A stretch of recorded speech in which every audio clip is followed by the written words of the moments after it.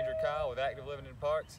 Today we're talking about the Native American legacy here in the parks. Different things in the park that you might see every day, which are reminders that Native Americans or indigenous peoples of the Americas once called this land home long before we did.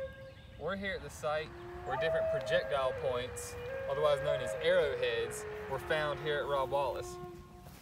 You can see here sometimes it's amazing to think people can find these because they don't look really that much different than rocks, but you have to know what to look for.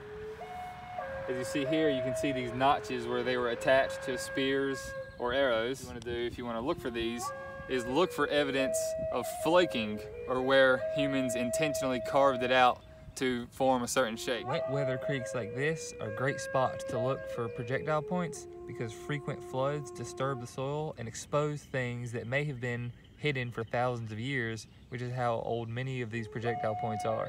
Other great spots are recently plowed agricultural fields and even trees that have fallen over and exposed the soil underneath. Arrowheads probably serve as the most exciting reminders that natives once lived here and called this land that we walk on every day their home. But here in the parks, you can find many other different reminders, not only in the land itself, but also in our culture and our language, the words that we use to describe plants and animals, which we borrowed from Native American groups. One track that you'll probably see is this track right here. It kind of looks like a human hand. It even kind of looks like an alien hand, maybe. The word that you would use to describe this animal is raccoon. That comes from an Algonquin word, a raccoon, meaning he scratches with his hands. So raccoons, they have these very flexible and very sensitive front paws. They almost look like human hands. And what they use those for is to dig around in streams for invertebrates to eat. And they can actually identify the invertebrate without even seeing it just by feeling it with these very flexible hands. So Algonquin was the language that was spoken by a lot of native groups in the areas where Europeans first arrived, like the east coast of Virginia and North Carolina and all that.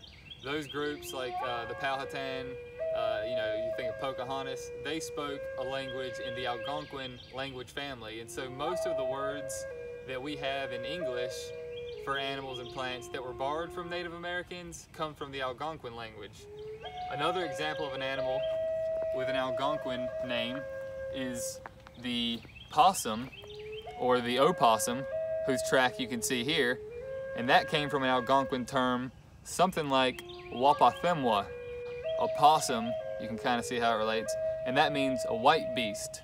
So one animal around here whose tracks you might see that has a Native American name is the coyote.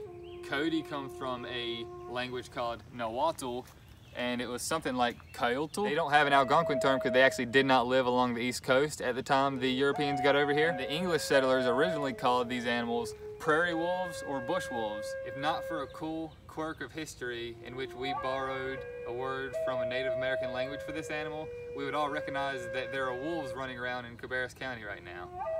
Instead, we call them coyotes. Even the types of trees that live in your area can also serve as an important reminder that natives had a strong history where you're at. This is the fruit pod of the honey locust tree, and natives used this fruit pod for sugar. They also use the thorns that grow on the branches to make weapons and to make uh, different kind of tools for sports and games. So if you're in an area with a lot of honey locust trees, research has shown that you are probably in an area with a strong Native American history because they cultivated these trees for so many reasons. They actually affected where honey locust trees grow in North Carolina today. You can't forget the Native Americans' lasting effect on our culture, our art, and our music. I'm just gonna play you guys out. Thanks for watching.